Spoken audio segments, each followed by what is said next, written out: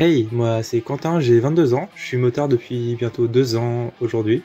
Donc euh, je roule en Yamaha FZ6 et euh, je vais vous présenter le casque Exo 520 Air Solid Scorpion Noir. Déjà, la première chose qui m'a surpris quand j'ai euh, enfilé le casque, c'est son confort en fait. J'ai été vraiment étonné par la mousse à l'intérieur qui est vraiment très confortable. Généralement les casques neufs en fait sont très serrés et il y a un temps d'adaptation à avoir et là, j'ai vraiment été très à l'aise directement dedans, et pour autant, il était à la bonne taille en fait. Donc, euh, ça a été un vrai plaisir de le tester au début.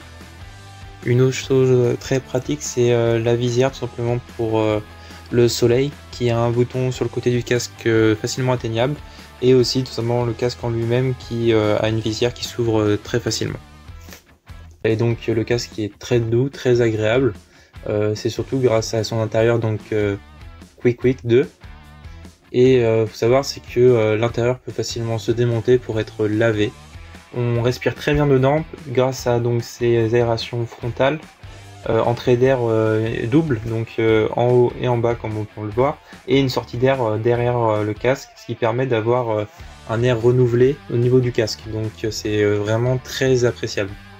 Pour conclure, je dirais que j'ai vraiment bien été surpris par ce casque. Donc encore une fois, surtout pour son confort, mais aussi euh, d'autres petits détails. En fait, on sent que ça a été vraiment réfléchi pour euh, faciliter son utilisation aussi donc euh, et surtout la ventilation et l'aspect sécurité qui a été mis en place pour ce casque en fait c'est un gros plus pour moi que je conseillerais pour un casque qui reste pourtant très abordable en fait pour sa qualité et donc je recommanderais évidemment ce casque suite à mon cette utilisation autant pour euh, une utilisation euh, passionnée ou euh, quotidienne.